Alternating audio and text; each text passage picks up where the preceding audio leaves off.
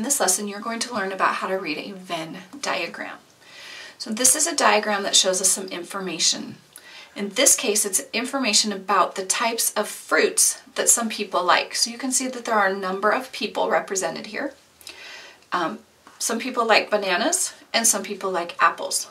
So let's look at who likes the bananas.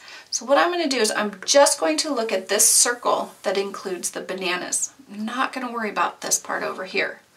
So if I count, there are one, two, three, four, five people in this banana circle. Okay, five people that like bananas. Five. Okay, let's look at just the apples. Who likes apples? So this is the apple circle right here. Let's count how many people like apples. One, two, three, four, five, six. So six people like apples, okay?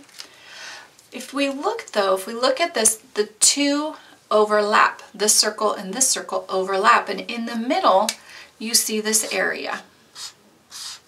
Okay, this area right here is actually in both circles. It's in the banana circle and the apple circle.